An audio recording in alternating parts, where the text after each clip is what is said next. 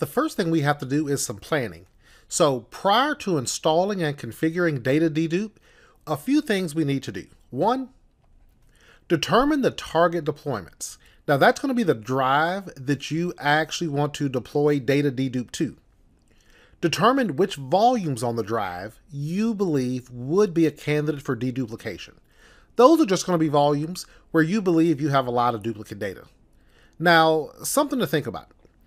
You could have 100 gigabytes of data on a drive. You have no idea how much of that data is actually duplicate data.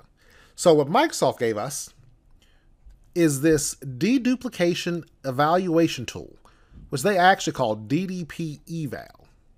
It's actually a command line tool, but that's the executable DDP eval exe. This is part of the deduplication role. So once you install deduplication, it actually installs this command line tool you can run. This will let you single out a drive and it'll tell you what your space savings would be on that drive. So you're never in a situation where you deduplicate a drive and then discover your space savings is not what you assumed it would be. Then we just plan the rollout of deduplication and we plan the policies. We'll see the policies in the interface, but they're going to contain things like deduplicate files older than a certain number of days. So those types of settings.